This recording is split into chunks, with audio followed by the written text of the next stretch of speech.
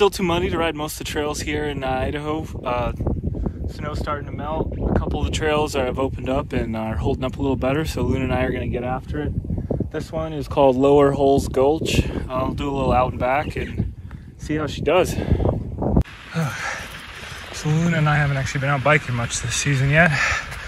So uphills seems to be, always be harder on me than it is for her.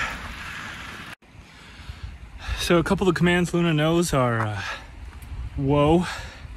When I say whoa, it just means get out of the way. Um, and she'll immediately jump off the trail. She'll stop running and just dart off the trail. She typically follows me. She almost never runs out front, at least when we're going downhill. Um, on the uphill, she's a little bit rangy, kind of lose track of her. So I have this whistle I do.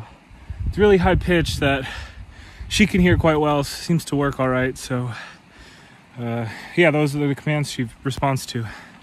So made it to the top of Lower Hulls Gulch.